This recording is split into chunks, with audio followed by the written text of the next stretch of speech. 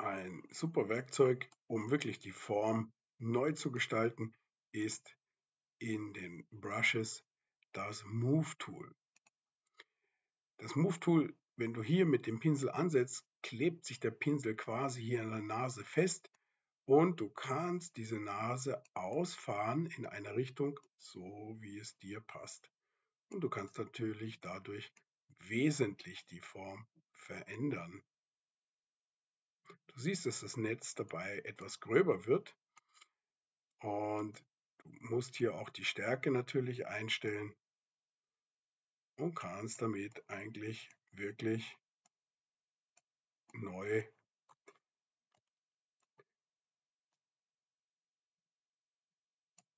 neue Formen festlegen.